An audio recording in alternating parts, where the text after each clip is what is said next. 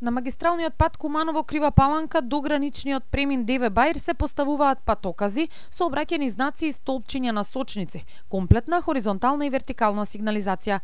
Раководителот на секцијата на јавното предпријатие Државни патишта Крива Паланка Игор Тодоровски рече дека ова е зафат кој се прави по подолг временски период. Освен интервентно на одредени локации, подолго време не беше обновена патната сигнализација. Истата се поставува на делниците од Куманово до Крива Паланка и од село Узем до граничниот премин Деве Бајр, со вкупна должина од 74 километри, изјави Тодоровски.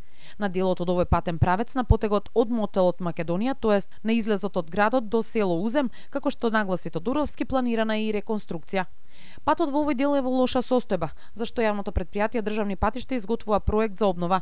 Ние сме задолжени за одржување на делницата од село Ругинци до Деве Бајер.